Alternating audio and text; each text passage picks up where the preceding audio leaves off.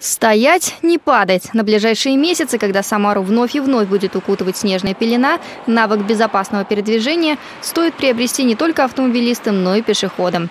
Главное правило – по ледяным дорожкам передвигаться мелкими шажочками. А если потерял равновесие, нужно упасть правильно, чтобы избежать травм. Когда у нас выскальзывает нога одна, мы должны не пытаться выпрямиться, а наоборот мы должны пытаться присесть на ноге, и как можно ниже опускаться на ноге и прокатиться по спине. При этом важный момент то, что надо голову прижать э, груди. Часто бывает люди подскальзываются, падают вперед.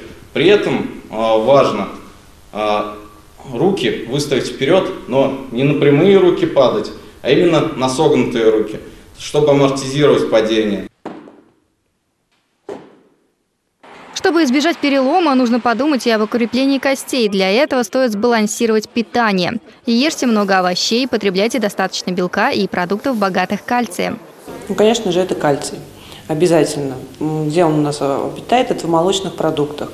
Причем в увеличенном потреблении кальция усваивается больше витамин D. Обязательно тоже для нашего опорно-двигательной системы нашей. Также, конечно же, нужно кушать рыбий жир и рыбу. Это источники жирорастворимых витаминов. Также они влияют и как на иммунный, на иммунный аппарат, но и на опорно-двигательный. В снежное время года стоит уделить внимание и обуви. От высоких каблуков и остроносых ботинок лучше отказаться.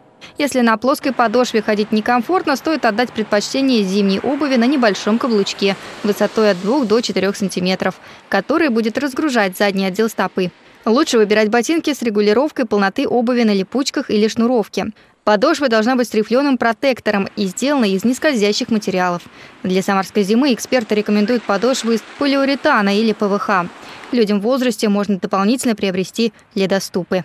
Мария Левина, Ольга Хамракулова, Максим Гусев. События.